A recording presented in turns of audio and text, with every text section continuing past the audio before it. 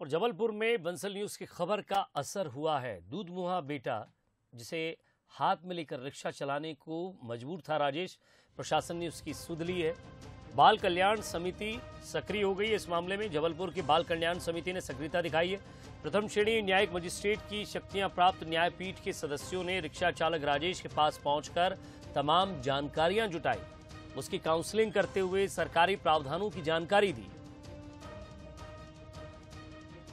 तो बिहार के कटिहार से आकर जबलपुर में पिछले कई सालों से राजेश रिक्शा चलाकर परिवार का पालन पोषण करने को मजबूर है।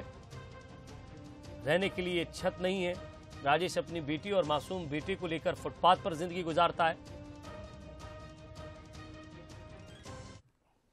इसमें जो मुझे बंसल न्यूज़ के माध्यम से और टीवी चैनलों के माध्यम से मुझे जानकारी मिली। शाम को छः बजे मैं न्यूज़ देख रहा था। शाम को ऑफ़िस आने के बाद में।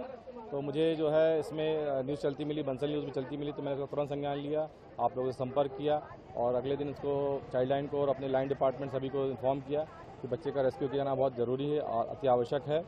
और समिति को भी इन्फॉर्म किया मैंने और चाइल्ड लाइन को बताते हुए कि आज मैं यहाँ पहुँचा हूँ और हमने जो कार्रवाई की है वो आपने देखी है और हम चाहेंगे कि कार्रवाई आगे भी हो, हम इसको, बच्चे को जो है पूरा रेस्क्यू करेंगे यहाँ से और इसका उचित जो इसका स्थान है, सुरक्षित जो शेल्टर हम देंगे। पिता अपनी जिद के कारण वो सब कुछ सुनने के लिए और मानने के लिए तैयार नहीं हुआ और अपने बालक को लेकर चला गया। फिर भी हम इस सबकी जो न्यूज़ है और जो बच्चा है, इस सबको देखकर समिति और जो संबंधित अथॉरिटी है, उसको इन्फॉर्म करेंगे कि कि बच्चे की जान जोखिम में है, उसका जो उपयुक्त व्यवस्था हो सकती है, वो करना आवश्यक है वो हम सब करेंगे। चलिए, अब आपको एक रिपोर्ट दिखाते हैं, जिसके बाद प्रशासन जागा। और मदद का भरोसा भी दिया।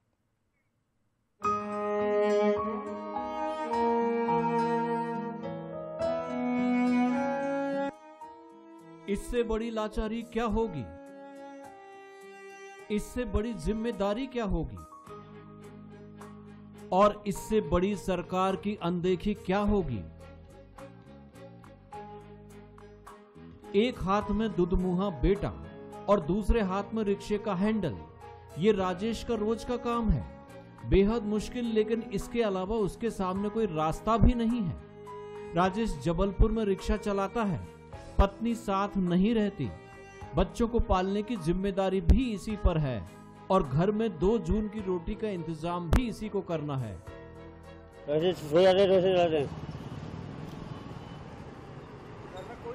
कोई नहीं है सिर्फ़ एक ये किसकी बहन है बस अब मैं हूँ। उसकी बहन को वहाँ सुला के बस स्टॉप में। तो बच्चे को लेके कैसे सवारी होते होंगे आप? ऐसे ही हैं जैसे जो देख रहे आप जो देख रहे हैं जैसे जो रहे हैं।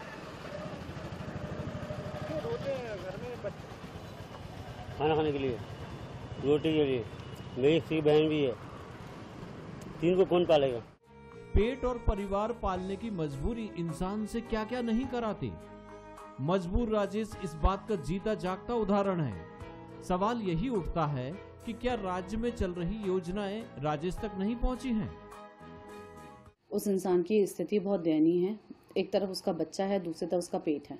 वो अपने भरण पोषण के लिए अपने बच्चे को जो एक बच्चा अ, अ, अकेला है जिसको किसी के पास छोड़ नहीं सकता है उसके साथ वो अपना भरण पोषण कर रहा है। सरकार की जो योजनाएँ हैं मैं उसका भी उसके लाभ दिलाने की कोशिश करूँगी और मैं ऐसी कुछ व्यवस्था करूँगी कि दिन भर बच्चा कहीं रह सके और पिता जो है अपना भरण पोषण पूरा कर सके। वाकई, हमने खूब तरक्की कर ली, लेकिन सड़क पर पिता और बच्चे का ये क्या हाल हो गया? क्या किसी को इसकी फ़िक्र है? क्या कोई इसकी मदद के लिए आगे आएगा?